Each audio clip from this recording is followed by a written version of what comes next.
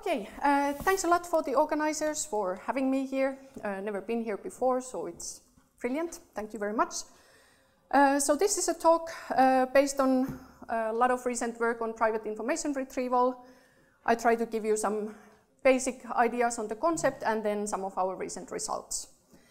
Uh, the main results that I'm going to present uh, related to our own work are joint work with Lukas Holzbauer, who is at TU Munich, or went on somewhere else but was there at the time, uh, Ragnar Freij-Hollanti from Aalto, and Jie Li, who also was at Aalto at the time.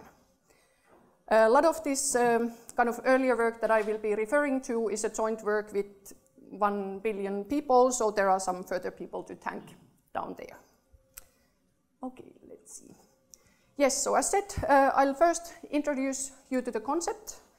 Then I explain what uh, PIR capacity means and explain some known results, present a conjecture. And to solve or prove that conjecture, I introduced two new concepts, namely strongly linear uh, PIR and this so-called uh, full support rank PIR.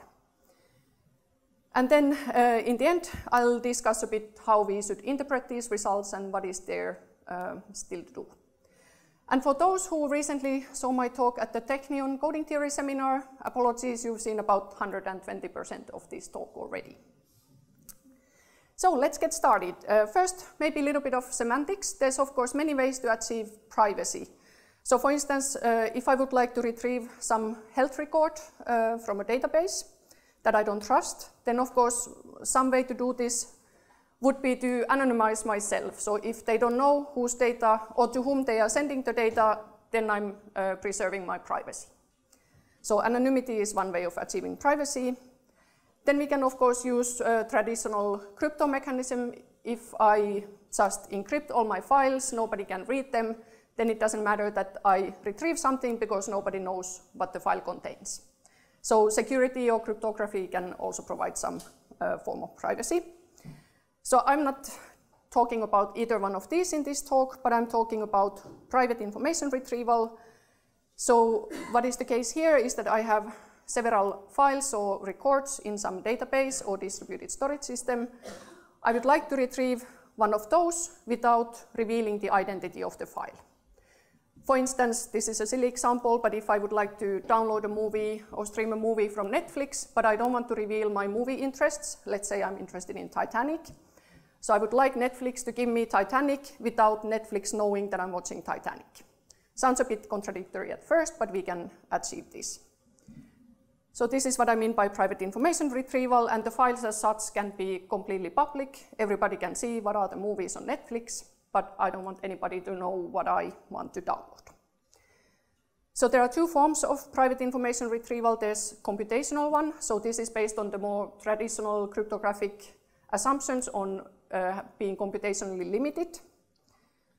Then there's information theoretic PIR, uh, so that means that the identity of the file and the query uh, queue that I'm sending to the uh, storage system or Netflix have zero mutual information. So finding I, the index of the file that I'm interested in, given the query is impossible or at best amounts to guessing. So this is what we are concerned in this talk. So uh, as said, the basic problem of PIR is to download a file from, say, distributed uh, storage system without revealing the identity of the file to the servers, who might be malicious and misuse this information. And then one basic fact that we can easily prove is that if we only have one server and we store all the information there, then the only way to get perfect privacy in this information theoretic sense is to download the entire database, download everything. So then of course I'm private because I downloaded everything, so they can't identify what, what was actually the reason I decided to download everything. But this is obviously highly infeasible. Uh, databases are large, clouds store a lot of information, so we don't want to do that. And the solution simply is to distribute the data on multiple servers, either replicating everything or doing some more elaborate coding. And just a bit of history, this is really not covering uh, everything, just to give a bit, a bit of an idea how things started. So during 1995, maybe up to 2005 or so, Uh, it was kind of a hot topic, this PIR from replicated databases, uh, considering how do we retrieve a single bit without revealing which bit we were interested in, or possibly a block of bits. But so after this, the topic was kind of dropped, maybe thought of um, thought to be a bit kind of impractical because you need to communicate a lot to retrieve a single bit. So then there was a sequence of papers that reduced step by step the complexity uh, of the communication to retrieve your bit or file privately to be sublinear in M, the number of files. Sorry, I didn't write what M means. While requiring only two non-colluding servers. Non-colluding meaning that the servers don't exchange their observed queries, so they don't talk to each other. And why I put some exclamation marks there uh, is because M is the number of files, and you can imagine some, if you even look at your own Dropbox or something, there are quite many, many files. I checked at some point, I think I had, uh, I don't know, some hundreds of thousands of files only there. So this is not a great thing to be dependent on if you want to be uh, not having a lot of complexity in your communication. So what has been happening more recently, mainly starting uh, 2014, 15 perhaps, uh, is looking at this private information retrieval problem when we have a distributed storage system. So before that, there was, of course, a lot of uh, research on these various coding schemes for distributed data storage. How do you retrieve your file and repair your file efficiently?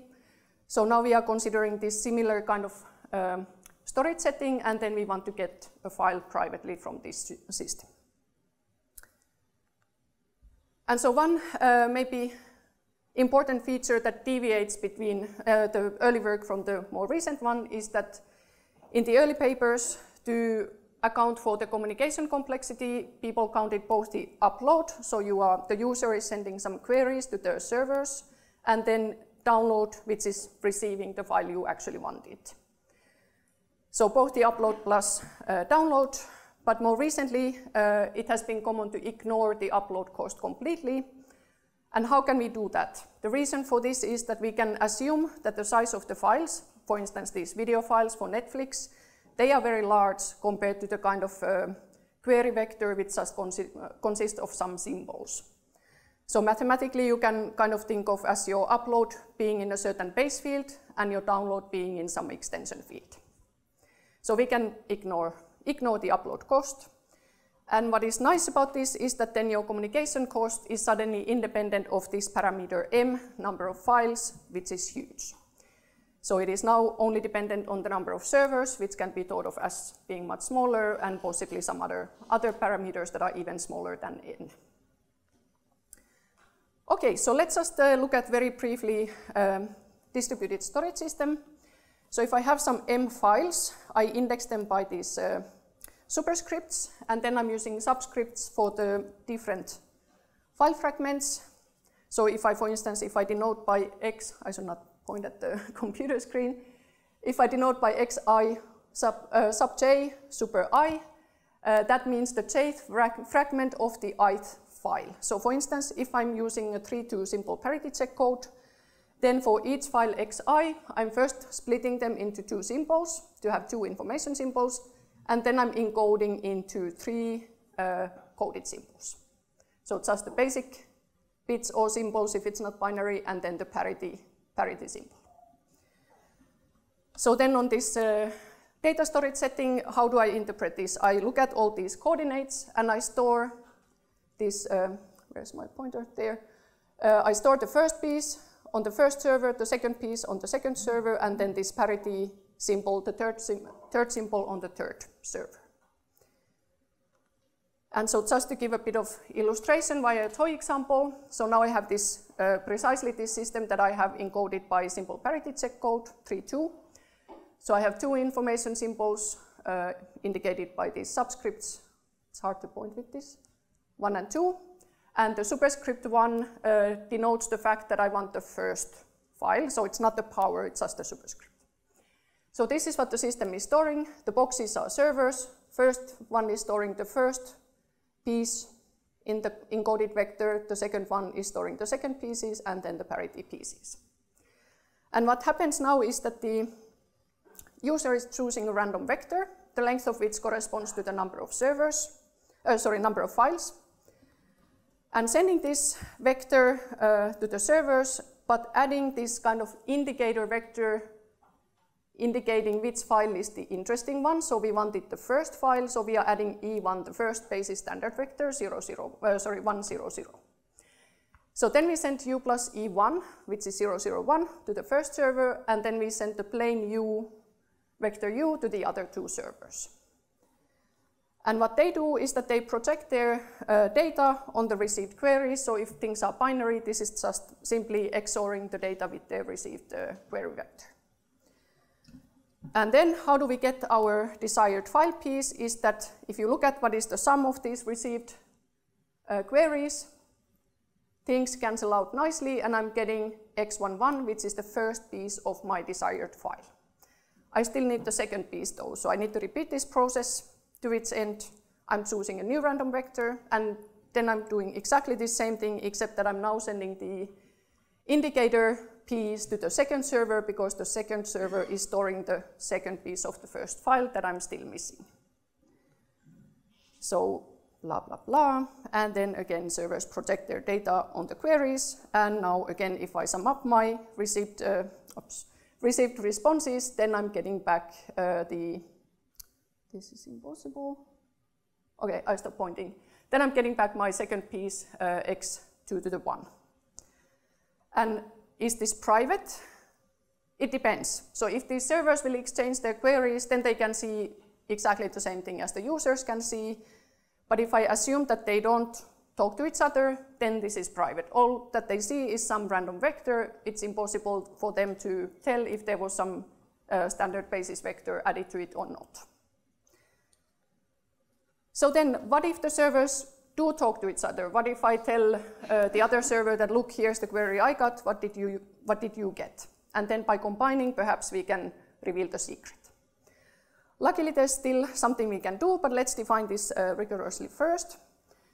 So servers in a colluding set, as said, they might exchange their obtained queries. So they are kind of honest but curious, and they might try to utilize the things that they legally see. So if they start talking to each other, then what happens?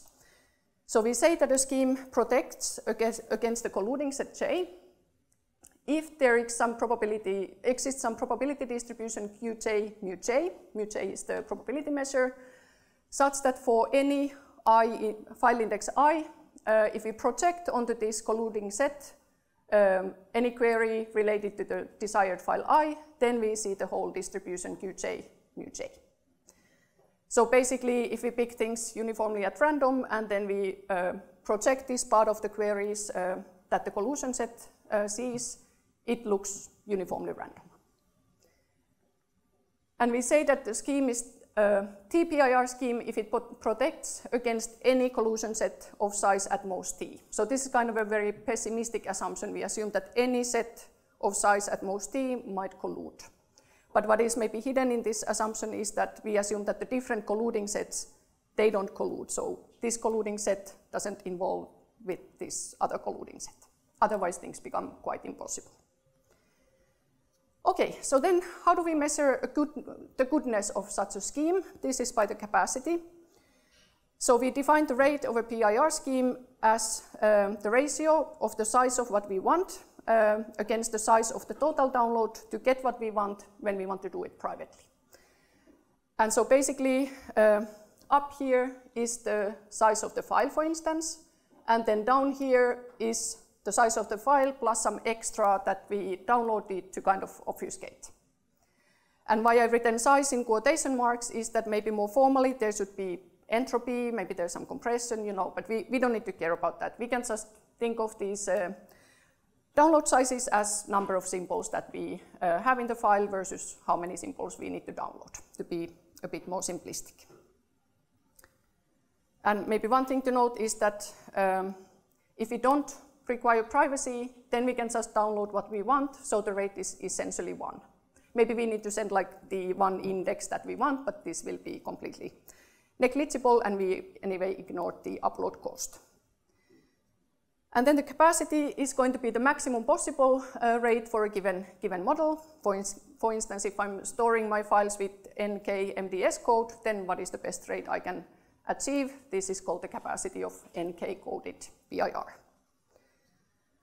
Uh, then we will see a bit later that um, it is really in practice the asymptotic capacity that matters. Uh, I don't know if there are people working, for instance, on some wireless communications where it's usually the opposite, like the capacity is something you don't really care about in practice so much, or you kind of do, but it's usually the theoretical uh, interest is the asymptotic capacity. But here, that's really what's kind of interested, interesting in practice. So asymptotically capacity achieving scheme is the one for which uh, the limit of the capacity when the number of files goes to infinity is uh, the rate achieved.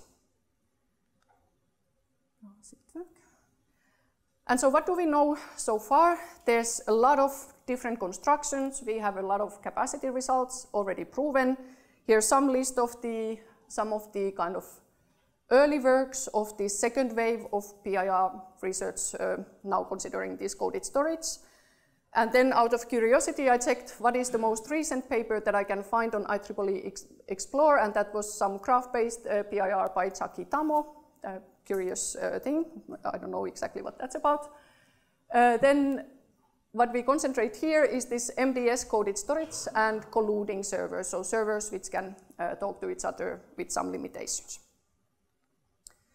And I go now a bit backwards. I first uh, tell what we have done and without really telling anything, and then I will explain what the actual results are and then how we, how we achieved them. So a few years ago at ITW conference, uh, we managed to close some gaps in these uh, capacity results, so many things were still open and we uh, closed a few of them. For instance, we derived the symmetric PIR capacity when we have coded, colluded, Byzantine and unresponsive servers. So um, unresponsive just means that one of the servers or few of the servers don't send you anything, also called stragglers. Byzantine means that there were some errors, either malicious or by just uh, errors in the communication.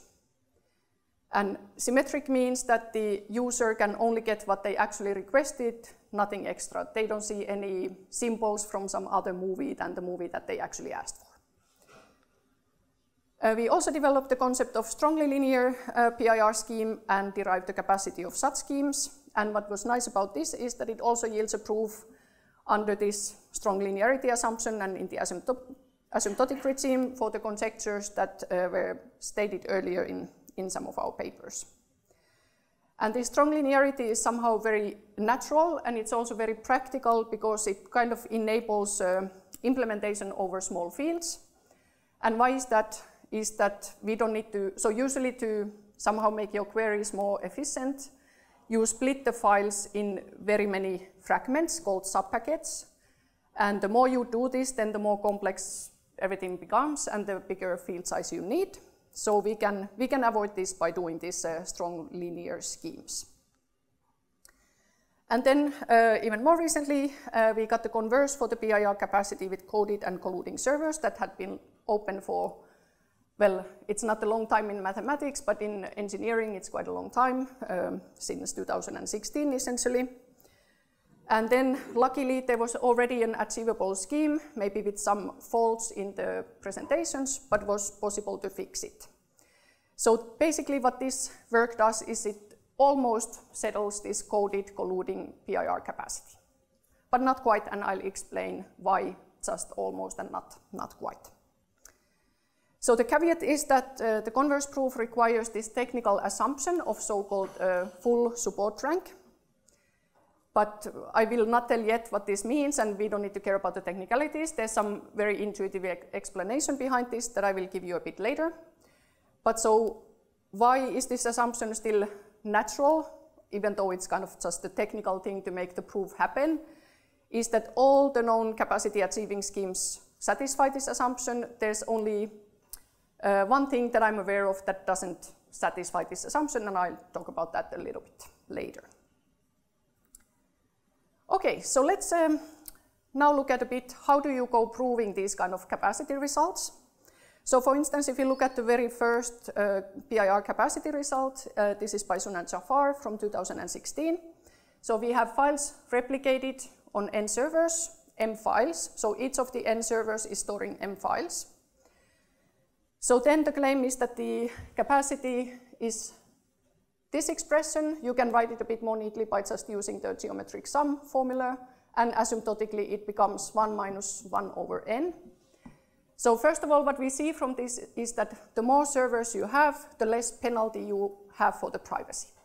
So if you have very many servers, then you are essentially getting privacy for free. On the other hand, you are wasteful in storing because you are replicating on many, many servers. So there's kind of a trade-off between uh, how much you have to store and how efficient you can be in your private download. And so the proofs of these kind of statements usually consist of two parts. So you have some information theoretic argument to get an upper bound so that you can't do better than this. And then you need to find a scheme that achieves this bound. We call this an achievable scheme, capacity achieving scheme. And I'm not giving you the full proof, but I give you a sketch of the scheme, and then I give you a sketch of the information theoretic uh, converse proof.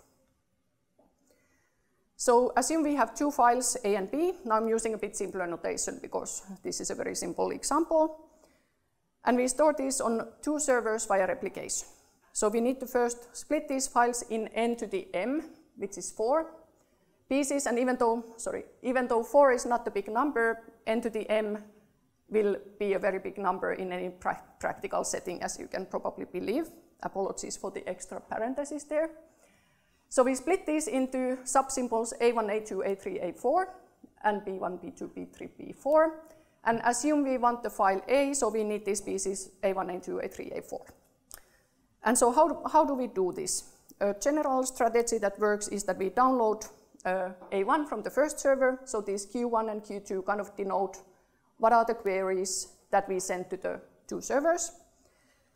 Then to be kind of not too obvious, uh, we symmetrize over both servers. So we ask A2 from the second server. Then we need to not be obvious about wanting A and not B, so we need to also ask questions about B. And then we utilize this B as an interference. We want A, so we can use these B pieces to cancel out this extra information. So we ask for some simple linear combinations from both servers. And then we randomly permutate the indices to be even more confusing the servers. And turns out this scheme is private and it achieves the rate 2 over 3. And if we compare to the capacity expression on the previous slide, uh, it achieves the uh, capacity for these parameters. And you can generalize this to do n to the m pieces and then do a lot of combinations and you can, you can imagine probably how it generalizes. And so now, uh, if you look at the converse, we would have to prove that our rate, so the number of desired symbols divided by the number of symbols downloaded, is at most this geometric uh, sum uh, here. So in other words, if we look at this reversed, the inverse of this, then we get that this would be at least this geometric sum over here. And now if we denote by L the size of the desired file, so this is the uh, denominator here then, we can multiply by L and we get that the number of symbols downloaded should be at least this much. So this is what we want to prove to get the upper bound. And the idea goes by uh, induction. So first of all, we need to download at least L symbols, otherwise we can't get our file, which was of L symbols. And we do induction over the number of files. Uh, clear if we set m to be 1, there's not much to prove. And then the induction step says that if you have M files and we want one of them and do want to disclose uh, which one, then we must download in total uh, DM uh, files, which is this uh, sum that we assumed. So in particular, from some of the servers, we need to download at least one nth. We have n servers, so at least one nth of this DM from the files uh, 1 to the m. And actually now I'm getting suspicious whether this is the final version of my slides, but let's ignore that. Luckily you don't know it. So the induction step, uh, now assume we want the file number m plus 1, so the m, m plus first file. Um, then by induction hypothesis, from some server we need dm over n symbols. And in addition, we need to download L symbols from, from the m plus first file, because that was the file we want, so we need all the symbols of that file. So now what do we get in total is L plus dm over n, and when we simplify this expression, we see that it's going to be precisely what we claimed, dm plus 1. So this proves the induction step.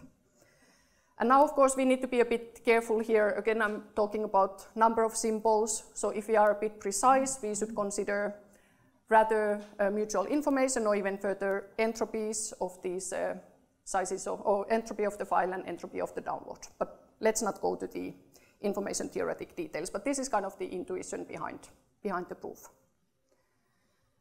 And so then uh, this conjecture uh, that I mentioned, so we, we conjectured uh, in our first PIR paper that if we have an NKD coded storage system, uh, so a linear code, and we fix t, the number of colluding servers to be between 1 and n minus k, then any TPIR scheme, so a scheme protecting against T collusion, has a rate at most this expression here, and asymptotically being 1 minus k plus t minus 1 over n. So there's this penalty for uh, coding, and there's a penalty for the collusion. But again, if n is larger with respect to these things, then we can again approach, approach 1. So unfortunately, our uh, very nice conjecture was disproven in its kind of entirety, but on the other hand, not in a very severe manner, because the counterexample concerns a two PIR scheme for two files. Two files is a very special case. You are, I mean, if you have two files, you can also just download everything and be private, so it's in that sense not a very interesting example, but it is a counter exam example regardless. And we have four servers. So they uh, showed a scheme with which they can achieve a PIR rate uh, 3 over 5, while our conjecture states 4 over 7, which is uh, smaller. And now what is interesting here is that this uh, proposed query scheme in the counterexample is not so-called full support rank. This was the technical assumption that we needed to prove our conjecture. So we have proved this, uh, this conjecture in this special case with full support rank uh, schemes. I'll explain again a bit later what, what these schemes are. But just to give you a bit of summary of these capacities that we know, so here is the kind of most uh, general expression. And in red, we have things that are on the level of conjecture or possibly proved in some uh, special case with some technical assumptions. And here in the uppermost one, if you go plugging in K is 1 as in for replication, T is 1 as in for no collusion, P is 0 as in no errors, R is 0 as in no straggling servers, then you get all these uh, other variants, simpler variants down here. And so, as I said, this asymptotic capacity is really the only interesting thing in practice because these uh, capacity, kind of finite capacity expressions decay exponentially fast in the number of files. So already with very small number of files, we are essentially talking about the asymptotic capacity. So in that sense, it doesn't really matter if we get to these finite capacities, but then of course being uh, mathematicians, we can be a bit stubborn of just proving something. So now, how did we then finally manage to prove at least something about these uh, conjectures is that we defined this so-called strongly linear uh, private information retrieval. So first, let's be a bit more specific uh, what I mean by uh, linear PIR. So first, a private information retrieval scheme is linear. If the responses are simply uh, coming with this inner product, so they are linear functions of the queries and the data being held by the servers. So in the binary case, XORing, for instance, just uh, projecting the data to the queries. So this was exactly what we did in the toy example. And then we say further that the scheme is strongly linear if in addition we can get each of the, uh, each of the symbols in the file we want by a deterministic linear function so that it's not depending on the randomness that we use to provide the queries. We just simply need the responses. And why is this kind of property important? I already mentioned this before, but it allows us to have a small field size. We can essentially use Reed-Solomon code, so we can just use a Q uh, n bit larger. And it has a low subpacketization level. In this uh, Jafar replication scheme, you saw that we subpacketized n to the m uh, to m fragments, whereas now we can do it just by uh, divide, subdividing into n times n minus k uh, fragments. So m has most importantly disappeared from here. And so then how do we construct such a strongly linear scheme in practice? Then this was our first PIR paper that turned out quite successful, if I may say so myself, uh, was this kind of star product scheme that I will quickly walk you through now.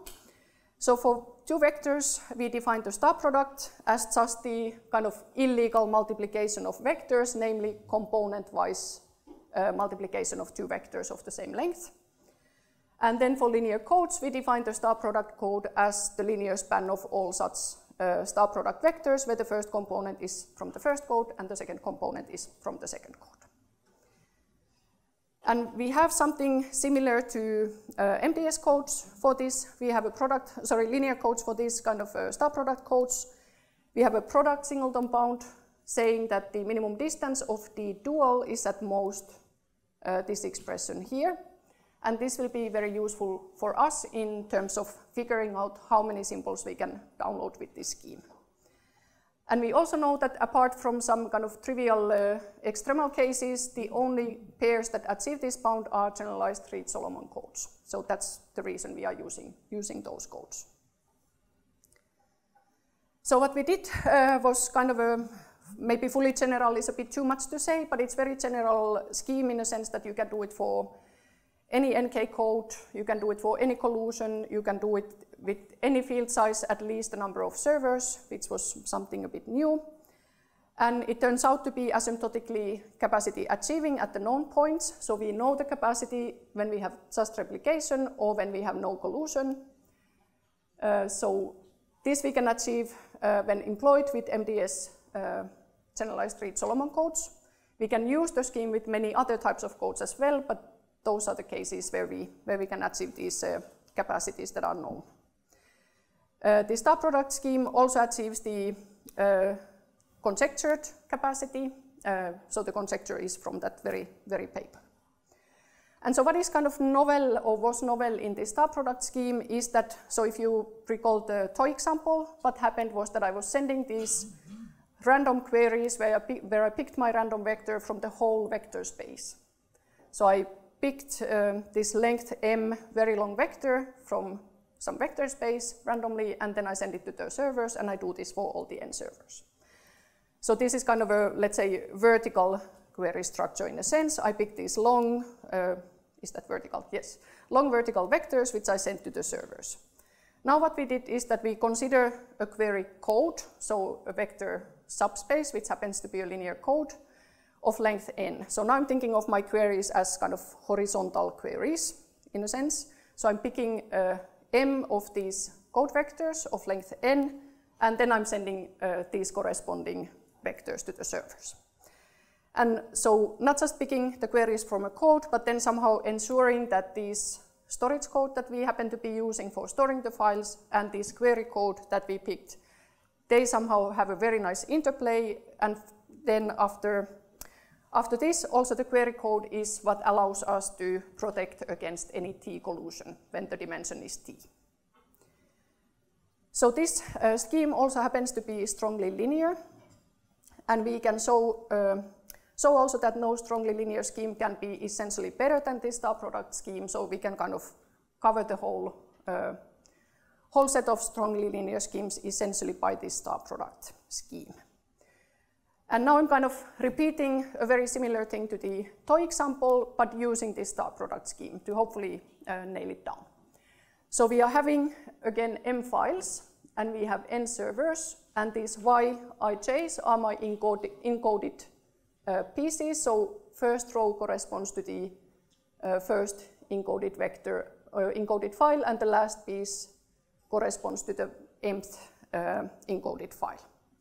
So I have encoded this system by some NKD code. You can think of, if you're familiar with Reed-Solomon codes, you can think of Reed-Solomon code. So then I select the code uh, D, and for every file, uh, I'm sending a, or choosing a code word from this query code D uniformly at random, and then I'm adding again this indicator vector, which was earlier just a standard basis vector telling which file I want. Now it's a bit more complicated, but the idea is exactly the same. This vector E is what kind of helps me to uh, decode the desired information. So then the queries that I send, they are of this form. So depending on if the index corresponds to the file that I wanted, I have added some EJ, some component of this E vector, otherwise I just have these plain uh, D, D code vectors. And I sent these queries to all the servers respectively. And what the servers respond with is that uh, they take these uh, inner products of the query they receive and the data they hold. I apologize for being so bad at pointing with this thing. Where is it? Maybe it's running out of battery. Anyway, so if you look at this um, kind of response vector, the overall response vector, we can see by a little bit of manipulation that it belongs into this uh, star product code, C star D. So C was the storage code, D was the query code, except that we have this little extra piece. So we had this indicator vector E to point to the file that we want, and then uh, that gets uh, starred with the respective component yi. So essentially, this C star D part is kind of useless interference, whereas all the interesting information lies in this yi star e.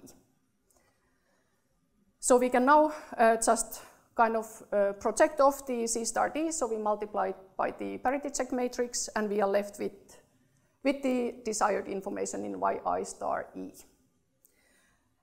And now uh, this scheme will be private even when considering T collusion. So if our code D has dimension D, uh, T, then what happens is that for a given uh, file L and a set of T servers that are colluding, T coordinates of this code word in D uh, is what they see if L was not requested, and if L was the requested one, then they see this uh, code word in D plus the vector E. And now, uh, what does it mean for them to retrieve some information? It basically means that they should distinguish I from L. So index that we wanted versus something we didn't want. And they can do that if they can decide which, uh, or whether the coordinates come from this code word or have this E added to it.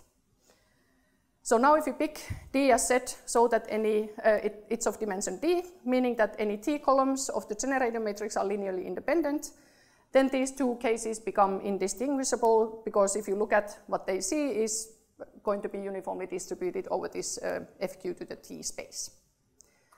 So we are private, we can protect against any T collusion. And so what the user is receiving is a code word in C star D with some errors, this yi star E in some known positions because the user was the one who designed this E. You can think of it as an error vector. And we can treat these as erasures because we know the locations and then by having chosen this uh, C star D certain, in a certain way, we know that uh, it can correct a certain number of errors. And now utilizing the product singleton bound, we can derive what exactly will be this uh, uh, bound for the minimum distance. It's going to be at most n minus k minus t plus 2. And using generalized Reed-Solomon codes, we can get to this bound. So if you remember how the conjecture looked like, the asymptotic, I'm pointing again at the computer, the asymptotic uh, capacity was exactly this expression here. So now uh, just tiny bit of, uh, how much time do I have? 15 minutes or so? Yes. Yes, okay, so then I have plenty of time. So now just to explain, um, oh, give you some of the actual results and explain you very quickly what the full support rank thing is. But first, um, about the strongly linear PIR. So now we can prove uh, by using this lemma uh, that the capacity achieved by strongly linear schemes is exactly what we achieve with the star product scheme. So consider any strongly linear PIR scheme. And if you have M files, then we denote by Dij uh, this linear span of the row vectors Qi to Qn, which can occur at, as the jth row of the query matrix Qi corresponding to the file index i that we are interested in a bit um, maybe complicated, but punchline is that the rate that we achieve is uh, 1 minus this dimension divided by another dimension, and if you stare at these dimensions a bit, in the denominator there's everything in this sum, so we are looking at these, all of these bands and then starting with the storage code, and up here we have excluded the index that corresponds to what we want. So basically, here is all the responses we get, and all the kind of extra information. Uh, sorry, all the information and up here we only have kind of the interference. So this is kind of what is uh, downloaded as in a way too much. And if you want to simplify a bit, we can assume that all the servers send a similar size response, and then it will look a little bit nicer because this is then just downloading a number of symbols corresponding to this dimension, which will be n, and the other dimension remains the same. And um, as said, we can replace any such strongly linear scheme by a star product scheme uh, without losing in the PIR rate. So this uh, is kind of what we can what we can prove. So if we look at the dimensions a bit better and we utilize uh, uh utilize the sorry, I got confused. Yes. So then we, then we get essentially exactly what we had with the uh, star product code, computing what these dimensions, what the bounds for these dimensions will become. And as said, it coincides with the asymptotic uh, capacity, should say conjecture, capacity conjecture. We haven't proven it in its entirety yet. And also it's true for any number of files. So even though, so this expression of capacity is the asymptotic one, but we can get to it with any number of files because the rate is independent of the number of files if we are strongly linear. And so if we think about it, it's kind of clearly suboptimal to send linearly dependent queries to the servers. So now maybe, okay, I should give a little bit of a bridge. So now we got to the, kind of got to the asymptotic expression, but how would we achieve the kind of finite version that had the number of files m in it? Then these full support rank schemes come into play. So now how we kind of ended up with, with this kind of technical def definition is that, uh, as I just said, it is suboptimal to send linearly dependent queries to the servers because it means that you are essentially downloading redundant information. So if I already downloaded some symbol A1, then I don't want to download it again because it increases my communication cost and I gain new, no new information. However, if you look at the query matrices, then submatrices of these query matrices may still be dependent, so they may have supported columns that are linearly dependent. And now this technical assumption of full support rank exactly uh, restricts all the supported columns, at most t of them, uh, t being the collusion uh, size, to be independent. Again, definition is quite technical. You can kind of safely ignore it. I try to explain on an intuitive level what it means and what are the consequences. But here it is just for the sake of uh, completeness.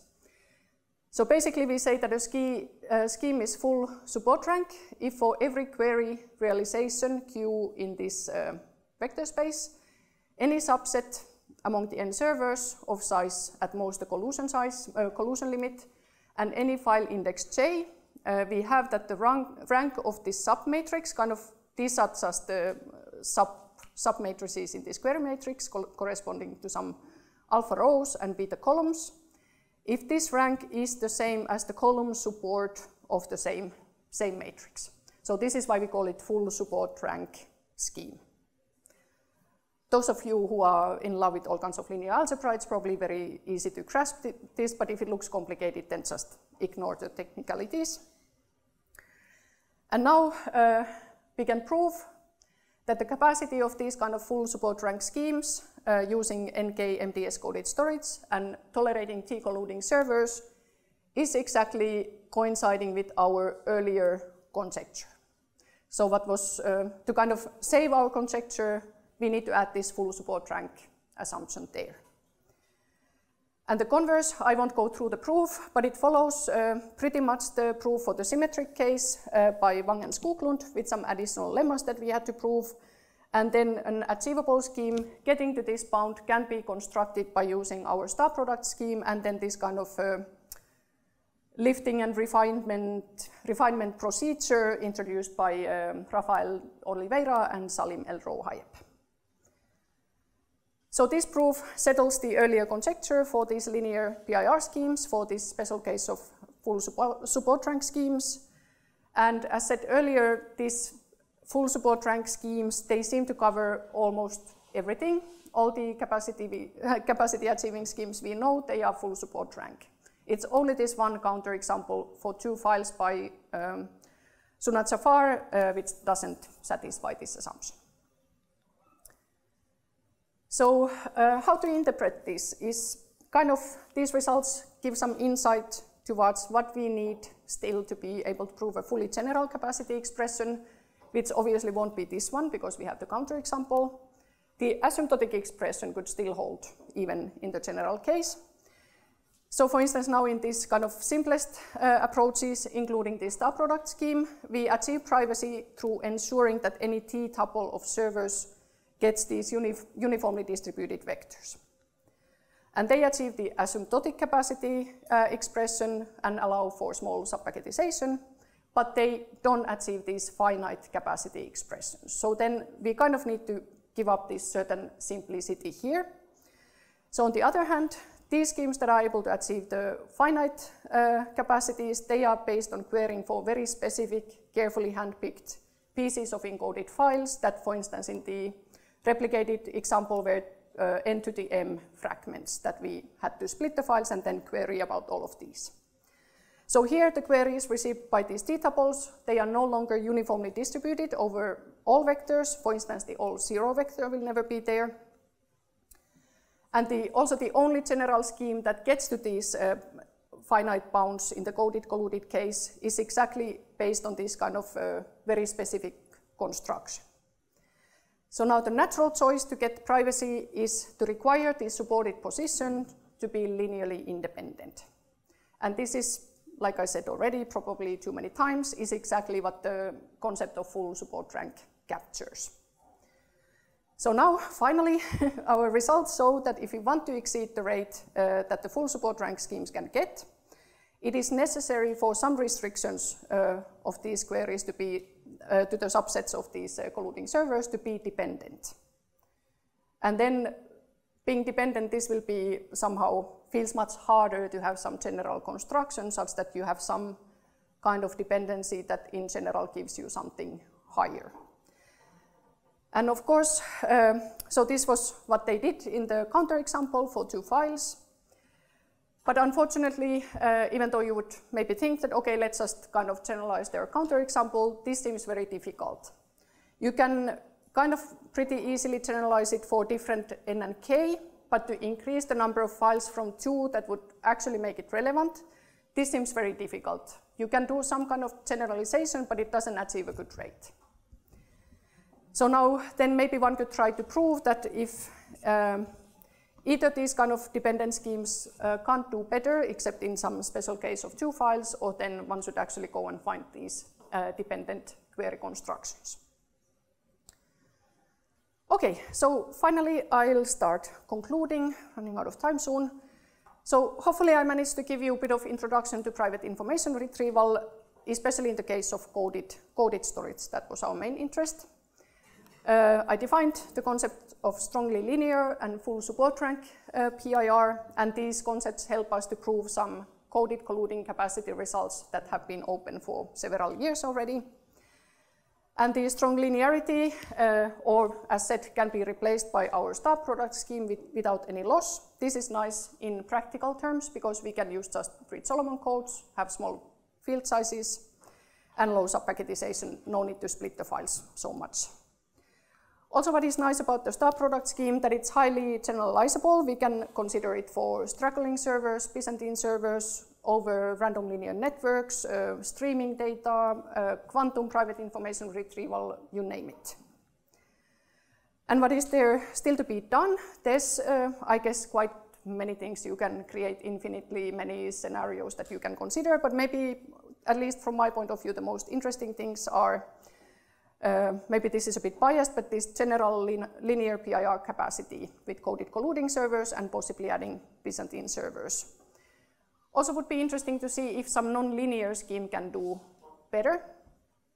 And then capacity of PIR over networks. So we have some schemes over random linear networks, but we have no idea like if they are good or what is the capacity or so on. Uh, then maybe also in terms of practicality, because now uh, you notice that these servers are kind of computing a lot. They are taking these uh, inner products of everything they are storing with your query file. And as said, we have many, many files. Then this becomes maybe, can become a bit infeasible. So then how can we get around this complexity is, of course, You can do parcel privacy. If I have 100,000 files, maybe it's enough that I'm private among 1,000 files, and then it's suddenly maybe much more feasible. But in general, more practical schemes with some computation thresholds that you can't afford doing more computation than a certain uh, threshold, this would be very interesting. And private keyword search is another topic. A little bit deviating from PIR, but somehow having some similar features, so possibly some areas where we can utilize PIR, are private computation and function retrieval, secure distributed matrix multiplication, and distributed and federated learning. These are some further emerging topics. Then some references, apologies that I'm not citing everything and everyone. I still have seven pages of them. So thank you very much. Happy to receive questions and here's repeated ad for our doctoral network if you missed it yesterday. Thank you very much.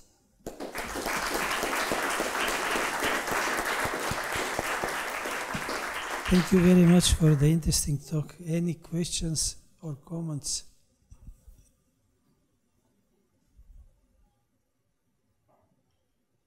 Was crystal clear. Right. Yeah, uh, thanks for this nice presentation. So, uh, in your information retrieval scheme, uh, your information retrieval scheme, in fact, triggered me to think of and consider of uh, lattice-based encryption. So, in your star product case, is there a relationship between uh, your information retrieval scheme and uh, such kind of lattice-based encryption, LWE encryption schemes? Sorry, what encryption schemes? I mean, lattice-based encryption. Ah, so they are encryption schemes. Yeah, you have some adding errors and uh, multiplying with star product. So yeah. it triggered me to think of such kind of schemes are similar. Yeah, so actually, I don't know in the case of star product uh, PIR, but there, there are some papers um, on this computational PIR based on lattices. And we also did something with code-based crypto type of ideas, but it was uh, broken pretty immediately by Gianira and uh, some other people, so that didn't fly. So these kind of computational PIR schemes can definitely utilize uh, these kind of uh, concepts as well. But I'm not sure if the star product scheme then, I mean, it's a natural way to think yeah, about as this. you know, star, yeah. star product is nothing but uh, polynomial multiplication in terms yeah. of. Yeah. yeah, yeah, so definitely can, can consider that. What about oblivious transfer? Is it cryptographical hard problem side of this uh, concept? So oblivious transfer? Yeah, that I don't know if it if something has been utilized for this purpose, but yeah, I think like in principle for the computational PIR, any hard problem that you manage to utilize, why not? If it if you end up with uh, good retrieval rates with not too much computational complexity, yeah, guess any, anything can be uh, considered. I'm not so familiar with the computational side of the works. Are there other questions or comments? If not, let's thank the speaker again and thank you uh, to all speakers this morning.